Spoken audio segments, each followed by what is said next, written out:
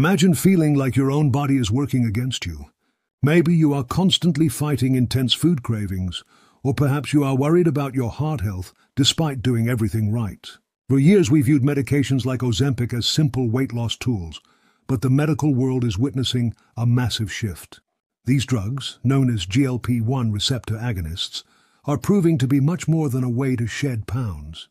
They are becoming a Swiss army knife for modern medicine. To understand how they work, stop thinking about them as diet pills. Instead, imagine your brain and gut are connected by a high-speed fiber optic cable.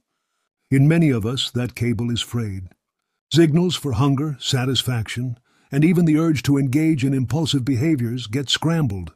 GLP-1 is a hormone your body naturally makes, but these medications provide a stable, long-lasting version of it.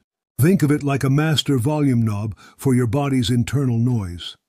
It does not just slow down your stomach, it enters the reward center of your brain and turns down the shouting. This quieting effect is why scientists are finding incredible results in areas we never expected. Recent trials show these drugs significantly reduce the risk of heart attacks and strokes, even without massive weight loss.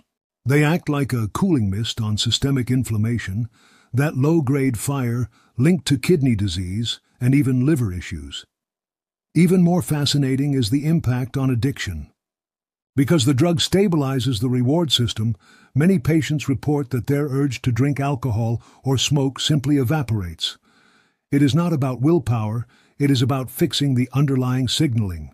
If you struggle with metabolic issues or heart concerns, here is your actionable step.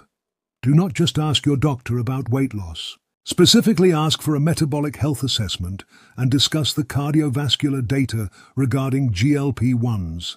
Ask if these treatments could help manage your inflammation or protect your organs. We are moving toward a future where we treat the root cause of chronic illness. Start that conversation today because the science has evolved far beyond the scale.